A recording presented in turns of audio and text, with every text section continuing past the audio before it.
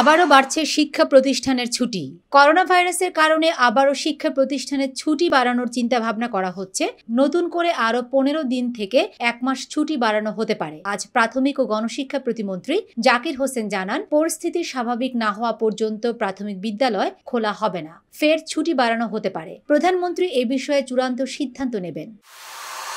বঙ্গবন্ধু স্বদেশ প্রত্যাবর্তন দিবস কাল। রোববার দশ জানুয়ারির স্বাধীন বাংলাদেশের স্থপতি বঙ্গবন্ধু শেখ মুজিবুর রহমানের স্বদেশ প্রত্যাবর্তন দিবস। উনিশশো একাত্তর সালের ষোলোই ডিসেম্বর বাংলাদেশ স্বাধীন হওয়ার পর উনিশশো বাহাত্তর সালের দশই জানুয়ারি তিনি পাকিস্তানের বন্দিত্ব থেকে মুক্তি পেয়ে যুদ্ধ বিধ্বস্ত স্বাধীন সার্বভৌম বাংলাদেশের মাটিতে পা রেখেছিলেন।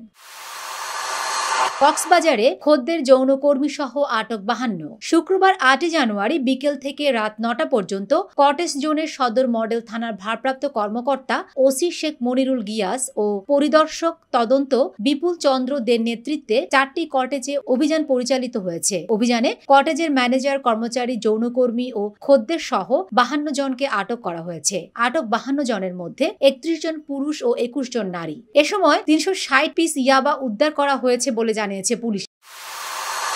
ধর্ষণের অভিযোগে আওয়ামী লীগ নেতা গ্রেফতার। নাটোরের নলডাঙ্গায় বিজিএফ এর বার্নারেবল গ্রুপ ফিডিং কাট করে দেওয়ার কথা বলে এক দিনমজুরের স্ত্রীকে আওয়ামী লীগ নেতা ইব্রাহিম দেওয়ান ধর্ষণ করেছেন বলে অভিযোগ উঠেছে। ওই ধর্ষণের ভিডিও ধারণ করে তা ভাইরাল করারও অভিযোগ উঠেছে। এ ঘটনায় অভিযুক্ত ইব্রাহিম দেওয়ান ও তার সহযোগী বকুল হোসেনকে গ্রেফতার করেছে পুলিশ।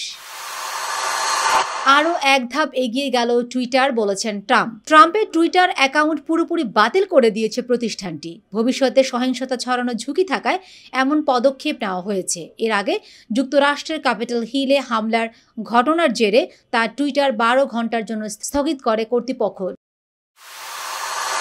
যুক্তরাজ্যে এবার মডার্নার টিকার অনুমোদন। যুক্তরাজ্যে করোনা ভাইরাসের তৃতীয় ভ্যাকসিন হিসাবে মডার্নার ভ্যাকসিনকে জরুরি ব্যবহারের জন্য অনুমোদন দিয়েছে দেশটির medicine and health care product regulatory agency M H R A খবর বিবিসি। ভারতের বিপক্ষে বড় লিড অজিদের। সিডনিতে বোর্ডার গাভাস্কার সিরিজের তৃতীয় টেস্টে ভারতের বিপক্ষে প্রথম ইনিংসে চুরানব্বই রানের লিড নিয়েছে স্বাগতিক অস্ট্রেলিয়া। প্রথম ইনিংসে অস্ট্রেলিয়ার করা তিনশো আটত্রিশ রানের জবাবে দুশো রানে অল আউট হয়েছে ভারত। বাংলাদেশে পা রাখার আগেই উইন্ডিজ শিবিরে করোনার হানা। ওয়েস্ট ইন্ডিজের বাংলাদেশ সফরের আগে প্রথম দফার করোনা ভাইরাস পরীক্ষায় একজনের পজিটিভ এসেছে।